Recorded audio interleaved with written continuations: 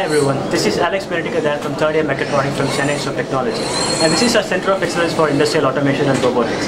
And my behind you can see students from school students from different part of Chennai and they are here to see our exhibit from our industrial automation and uh, micromouse. And in this Center of Excellence we have uh, Mitsubishi robots and automation setups imported from Japan and China and our college students get trained on these stuff so they don't need additional training on the outside when they get onto the real world.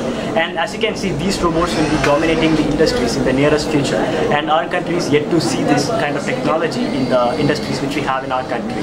And as students get trained here, they get much, better knowledge and they can be more creative and they can make their own machines and equipments that can supplement our industry needs.